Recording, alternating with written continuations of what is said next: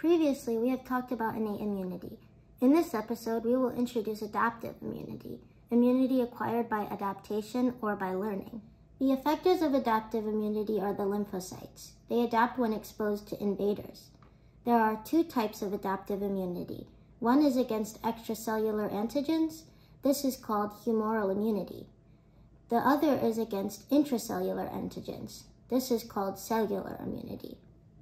The lymphocytes are produced in the bone marrow and are morphologically similar. The difference lies in the training.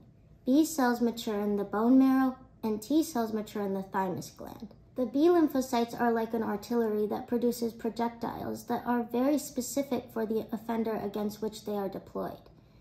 These projectiles are called antibodies, and they are responsible for humoral immunity. T lymphocytes, on the other hand, are like assault troops.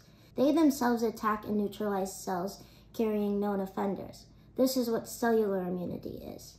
Lymphocytes can be considered the army of the body, which is divided into battalions called clones.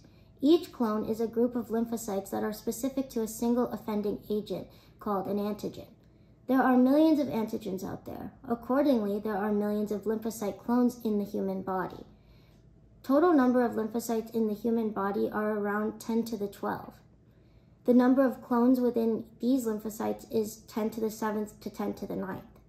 Accordingly, each clone has about 1,000 to 100,000 lymphocytes that are trained to respond only to single specific antigen. It is important to note that the number of antigens attacking the body run in the billions, orders of magnitude more than the total number of genes in the human genome. If each lymphocyte's receptors are restricted to a single antigen, then each receptor cannot specifically be encoded by a germline gene or an inherited gene because the number of such antigens is much larger than the number of genes.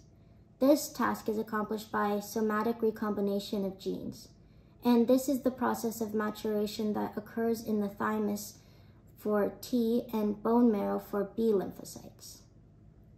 Just as a tailor can cut and stitch a piece of cloth to make a shirt or a suit, maturation process in the lymphocytes leads to the cutting of DNA and tailoring of an existing gene segment to form new variations. The master tailors in this case are genes themselves. RAG1 and RAG2 that produce enzymes to affect such changes.